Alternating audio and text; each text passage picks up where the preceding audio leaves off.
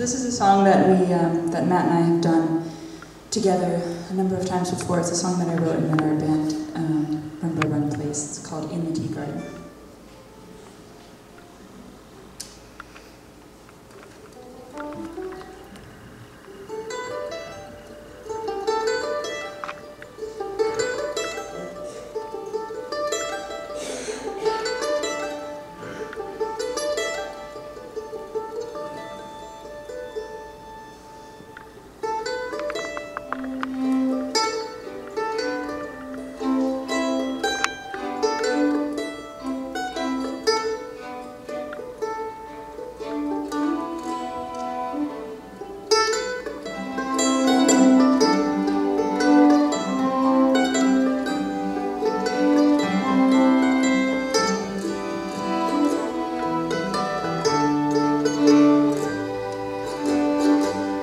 deep